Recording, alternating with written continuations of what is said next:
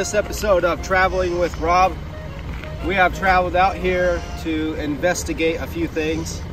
We are here on an open investigation to see whether Clarkston, Washington is better.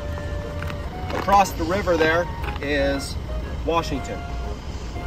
Right now we are on the Idaho side. Over here on this side of the river is Lewiston, Idaho. Let me tell you something. So far, what we have found out is that Lewiston, Idaho is terrible. You do not want to live here. There's nothing here.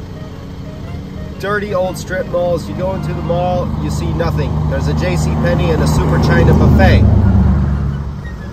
If you want to smoke meth, then this is your place. That's it.